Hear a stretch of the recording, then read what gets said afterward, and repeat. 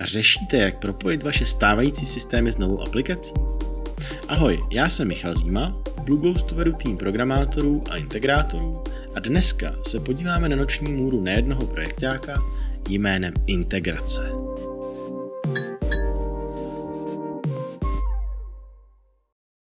Na úvod je dobré si říci, proč systémy propojovat.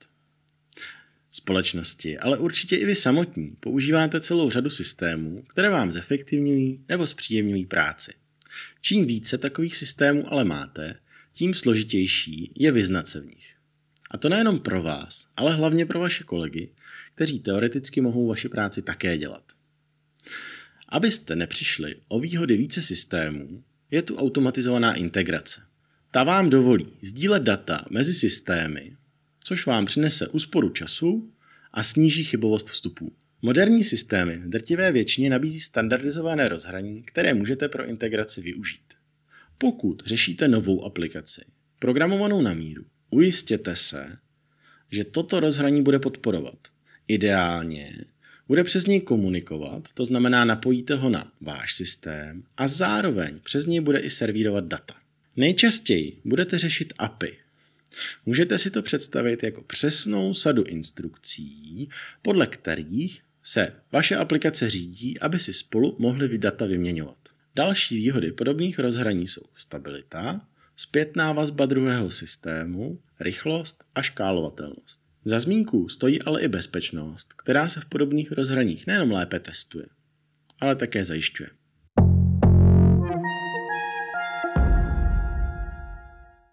Každá integrace začíná průzkumem interního systému a sběrem požadavků na propojení.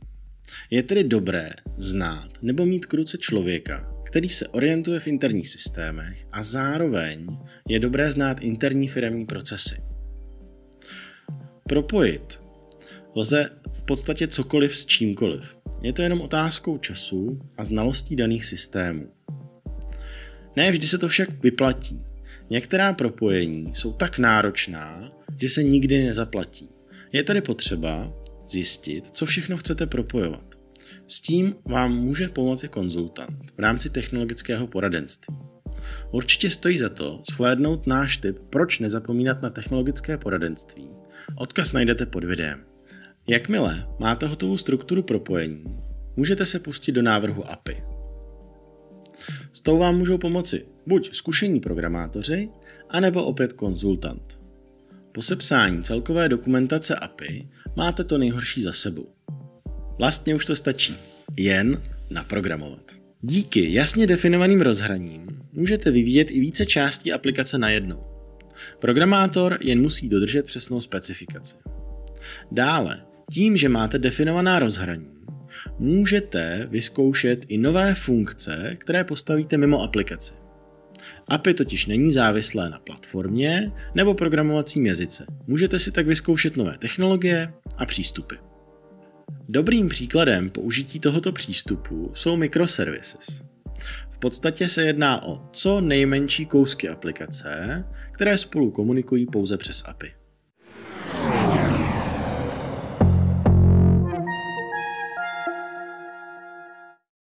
Pro rozdělení aplikace na jednotlivé celky je třeba se nejprve zamyslet nad tím, jak spolu jednotlivé části souvisí, případně jaké mají mezi sebou vazby.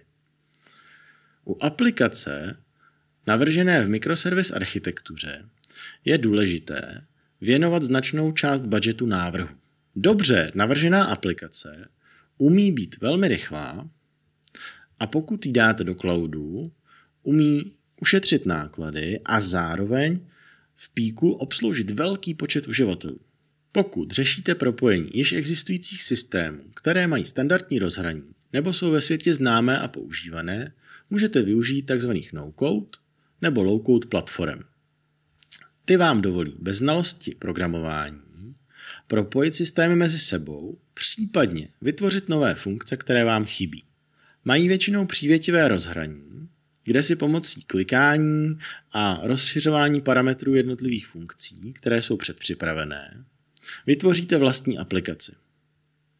Díky ní můžete stahovat data z různých zdrojů, vyhodnotit je a dále je poslat do jiné aplikace nebo třeba mailem.